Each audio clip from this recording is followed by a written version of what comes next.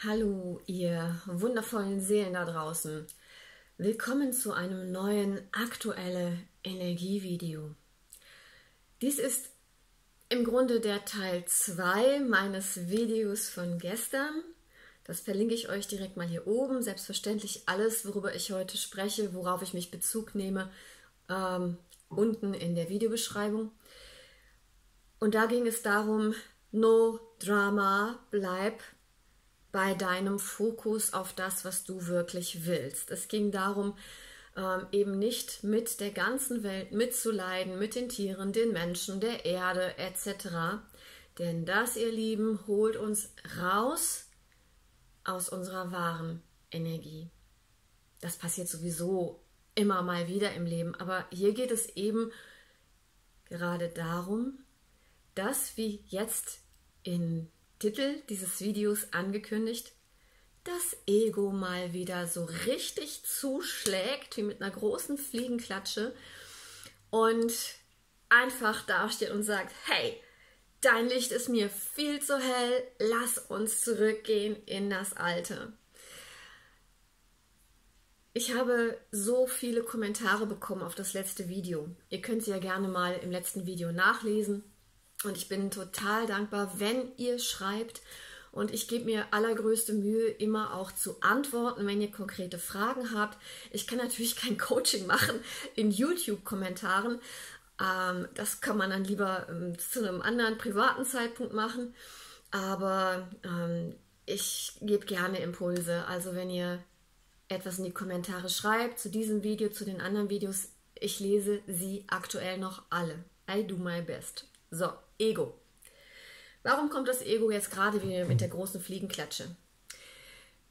Ich habe das in den ganzen letzten Videos gesagt und es ist massiv wieder spätestens seit der Wintersonnenwende ein ganz großes Thema. Wir hatten im letzten Jahr so viele wichtige Wellen, die uns angetrieben haben. Jetzt im Moment sind es eher ja, keine richtigen Wellen, wie ich sie im letzten Jahr wahrgenommen habe, sondern es geht halt permanent mit der Energie rasant aufwärts, was zu vielen, vielen Veränderungen führt innerhalb von Familien, in einem einzelnen Menschen, weil plötzlich das Bewusstsein aufgeht oder noch weiter aufgeht.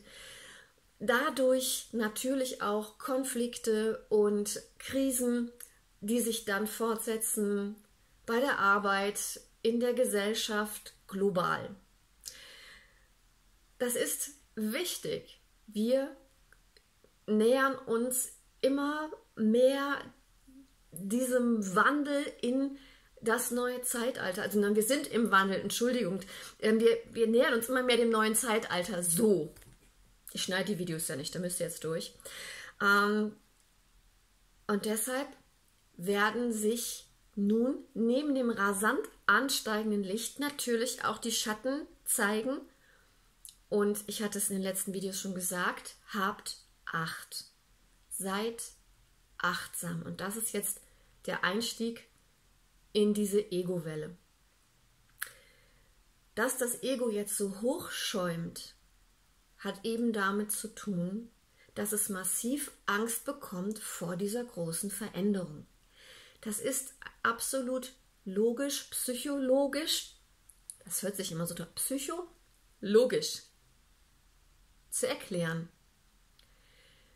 Das Ego ist eine unserer wichtigsten Facetten als Mensch auf Erden. Wir kommen hier als perfekte, leuchtende, liebende Seelen auf die Erde. Der Trick ist ja, dass wir uns dann trennen aus dem All-Eins-Sein und in die Dualität plumpsen. Und dann müssen wir gucken, wie wir damit zurechtkommen. Und in der Dualität bedeutet es, wir fangen am Start an, um uns im Laufe unseres Lebens zu entwickeln und entfalten. Jetzt sind wir gerade in einer Zeit, die diese Entfaltung massiv voranpusht, unterstützt ja, vorantreibt, könnte man fast sagen. Das bedeutet aber, ich wiederhole mich da, für diejenigen, die schon länger dabei sind, es gilt, im tiefsten Inneren ordentlich Hausputz zu machen. Wer das getan hat, den erwischen diese Ego-Wellen nur so ein kleines bisschen. Wer aber Angst davor hat, in das Innerste zu gucken, weil er oder sie glaubt, dass da drin die Monster lauern, der erlebt halt diese extremen Ausschläge des Egos. Und ihr Lieben, bitte nochmal und gerne immer wieder, da drin lauern natürlich, wenn man das überhaupt lauern nennen kann, da schlummern ein paar Erinnerungen. Gute wie weniger schöne. Aber was soll's? Wenn wir die weniger schönen in uns begraben, irgendwo in den tiefen Keller stecken, abschließen, Stuhl unter die Klinke, Stuhl und Schlüssel als Blockade nehmen, also Schlüssel wegwerfen, Stuhl drunter, am besten einen Schrank davor schieben, was auch immer. Wenn wir versuchen, die Ängste, die alten Erlebnisse und die damit verbundenen Emotionen, also Gefühle von früher, zu unterdrücken, kommen sie wie der berühmte kleine Springteufel irgendwann pff, ans Licht. Ich hatte heute Morgen ziemlich früh ein ganz tolles Gespräch mit einer meiner liebsten Freundinnen. Und sie ist so bewusst, sie lebt ihren Spirit, sie lebt ihr Licht, sie lässt es in ihrem Beruf, in der Familie, bei den Freunden leuchten. Und sie glaubt trotzdem noch, dass sie sich sehr stark verändern muss, um perfekt zu sein. Erstens, perfekt ist hier niemand, beziehungsweise alle. Denn wer sagt schon, was perfekt ist? Das ist der Punkt. Um das Ego herum, um unsere Psychologie herum sind so viele seltsame wissenschaftliche Erkenntnisse aufgebaut, die überhaupt nicht mehr gelten bei der aktuellen Energie, die sich immer schneller verändert, dass wir das endlich mal ablegen müssen, ihr Lieben. Ja, das Ego, das haben wir heute Morgen eben im Gespräch ausgetüftelt, das kam mir so ins, in, in den Sinn, möchte ich euch gerne mal vorlesen. Das Ego webt einen Zauberbann, der uns in der Unzufriedenheit hält. Ja, das ist so ein ganz subtiler, magischer Bann, der uns immer glauben lässt, es ist immer noch nicht gut genug, wie wir sind, was wir tun, wie wir denken. Das Ego möchte uns in unserer Entwicklung und Entfaltung insofern unterstützen, dass es mit uns spielt. Es will keine Veränderung, es mag keine Veränderung. Das führt dazu, dass die meisten Menschen echt faul sind und sich überhaupt nicht weiterentwickeln wollen. Das Ego gilt es, voller Achtsamkeit zu beobachten. Die Buddhisten nennen das den unbeteiligten Beobachter. Ich gehe aus mir selbst heraus auch aus all meinen Gefühlen und betrachte mich und meine Situation, um sie besser einschätzen zu können. Das Ego sorgt, wenn wir uns zu schnell und zu stark entwickeln, wenn sich die Dinge stapeln, wenn sie uns überrollen, dafür, dass wir ins Drama fallen. Ich habe einige tolle Videos zum Thema Drama gemacht. Ich verlinke euch mal eins hier oben und zwei, drei andere unten in der Videobeschreibung. Drama ist quasi das stärkste Werkzeug neben der puren Angst und Panik, die ein Ego erzeugen kann, um uns zurückzuhalten in der Entwicklung, um dafür zu sorgen, dass wir erstarren, das ist die Angst und die Panik, oder dass wir um uns schlagen wie verrückt, weil Drama auch aus Angst entsteht, aber ähm, es gibt die Erstarrung in der Angst und es gibt das Drama und das Drama zersprengt, weil es sich befreien will, weil die Angst raus will, einfach alle Ketten, alle Banne. Und ähm, das führt meistens dazu, dass wir mit einem oder mehreren Menschen anfangen zu streiten, zu kämpfen, was Partnerschaften zerstören kann, Beziehungen zu den Kindern etc. Ja, oder zu den Kollegen oder schlimmstenfalls auch zum Chef, zur Chefin. Drama ist ein Ventil für das Ego. Und jetzt im Moment ist halt wieder Dramazeit. Es wird auch von außen noch scheinbar unterstützt, aber da gilt, wie im letzten Video gesagt, wo hast du deinen Fokus drauf?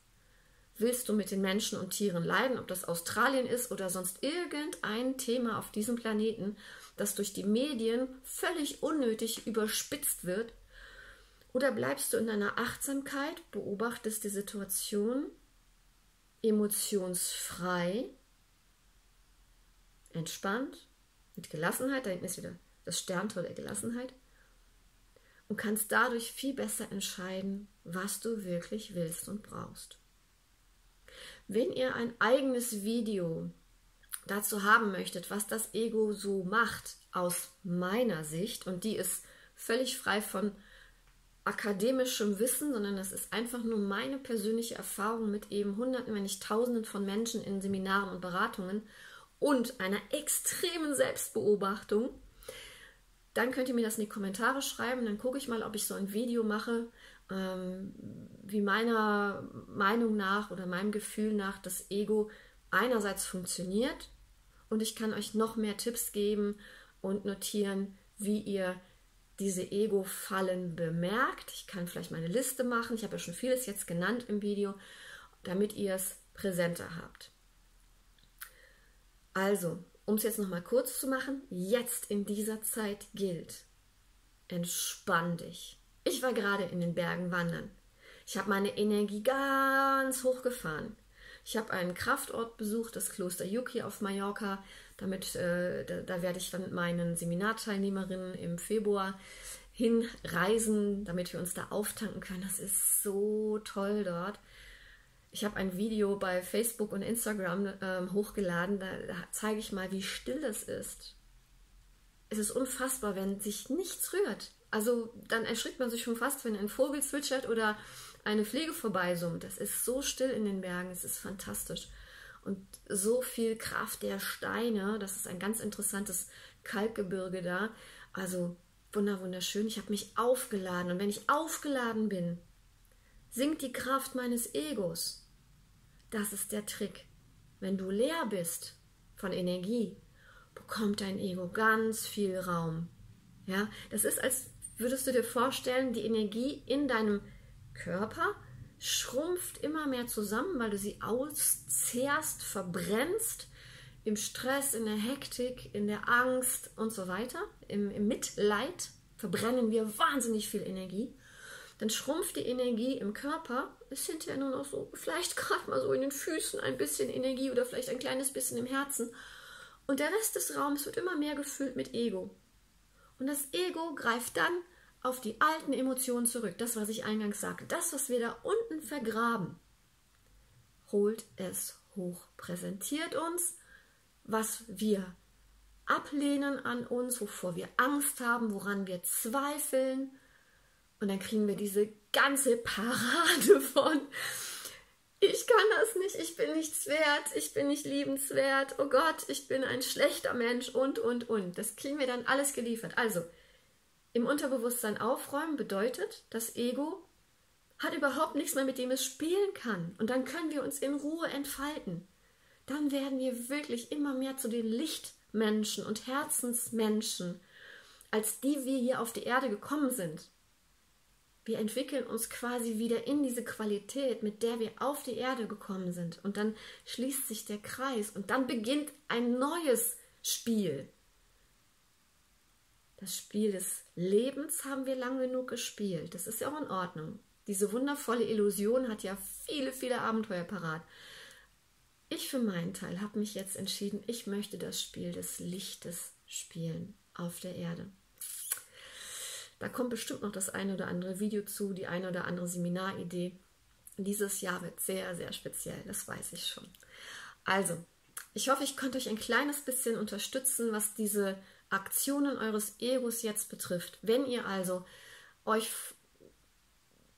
vom Ego wieder zurück in Süchte treiben lässt, aus denen ihr euch gerade mühsam rausgearbeitet habt, haltet inne. Hebt eure Energie an, ob das mit Natur, frischer Luft, gutem Essen, Meditation ist, mit raus aus diesem ganzen, aus dem ganzen Sog der Gesellschaft hin zu euch in die eigene Liebe ist. Ja, holt die Energie hoch. Fokussiert auf, euch auf das, was ihr wirklich, wirklich wollt. Stellt euch eure Ziele. Das können auch Mini-Mini-Ziele sein. Das kann auch einfach sein, mal einen Tag kein Alkohol zu trinken oder vielleicht auch kein Fleisch zu essen oder mal nicht zu rauchen. Das können Mini-Ziele sein. Aber stellt euch dann vor, wie toll ihr euch fühlt, wie großartig das ist, wenn ihr geschafft habt, eurem Ego und jetzt mal alle weggucken, die zart beseitigt sind, den Stinkefinger zu zeigen. Ja? Das Ego will euch zurückholen in den alten Morast der alten Emotionen, aber euer ganzes Sein strebt jetzt nach Liebe, Frieden, Licht und Freude. Lasst euch vom Ego nicht zurückziehen. Also, wenn ihr Lust habt auf das Thema Ego nochmal ein bisschen intensiver betrachtet, schreibt es mir in die Kommentare, motiviert mich tüchtig. Ich habe in den nächsten Tagen viel, viel vor und ich mache jetzt im Anschluss an dieses Video noch ein weiteres, aber das werde ich dann morgen oder übermorgen posten. Ich liebe euch, ich wünsche euch das aller, allerbeste. Wir reiten auch diese Ego-Welle wieder. Putzt eure Flügel, erdet euch gut, macht euer Licht so groß ihr könnt, macht meine Lichtkraft-Meditationen, schaut euch die Jahresbotschaft an, motiviert euch mit positiven Dingen. Das Ego will einfach nur durchliebt geliebt, bemerkt werden und dann darf es sich wieder entspannen. Das wünsche ich euch. Alles Gute, bis zum nächsten Video. Eure Sonja Ariel von Stadler. Ciao.